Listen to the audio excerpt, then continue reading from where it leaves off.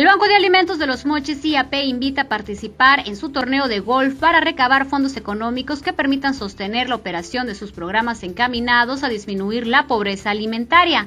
María Aurora Orduño Almeida, directora operativa del Banco de Alimentos, resaltó que este 2019 cumplen 20 años trabajando arduamente en los cinco municipios del norte de Sinaloa en beneficio de las familias más vulnerables.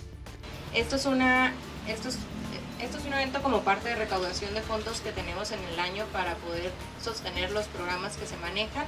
Nosotros este año cumplimos 20 años, estamos apoyando a, eh, más de 12 mil personas mensuales, 120 toneladas rescatadas y eh, otorgadas a nivel norte de Sinaloa, a OME, el Fuerte Chusguasabe, Sinaloa de Leiva. Em, no quiero dejar de lado a todos los aliados de causa. Este año logramos tener 34 patrocinadores que son quienes están eh, haciendo que este torneo se realice.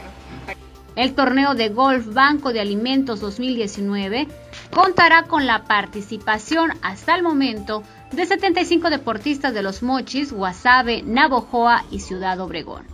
El evento deportivo consistirá en la competición, convivencia, premiación y rifas.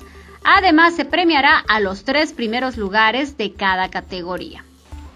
Para Fórmula y Luz Noticias, Jessy Jauregui.